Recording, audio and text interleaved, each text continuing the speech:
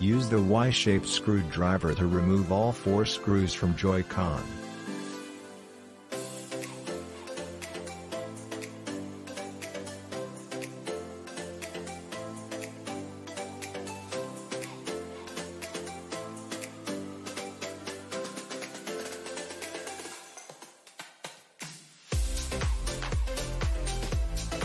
Use the crowbar to open up the Joy-Con case. Watch out for the yellow PCB connector cable.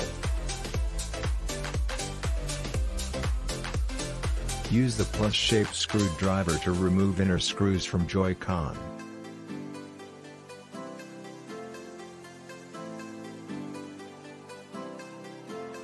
Use the tweezers to take out the small metal piece. Take out the small plastic lock component. Pay extra attention to the tiny spring. Now attach the tiny spring into the metal lock then place it back into the plastic lock position.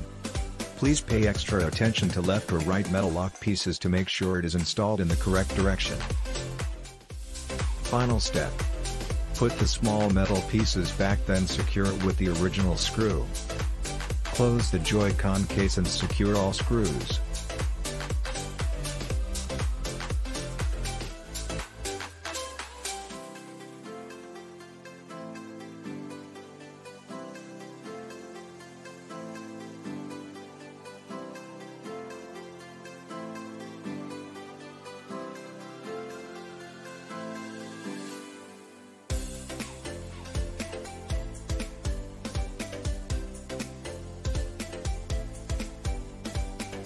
Installation completed.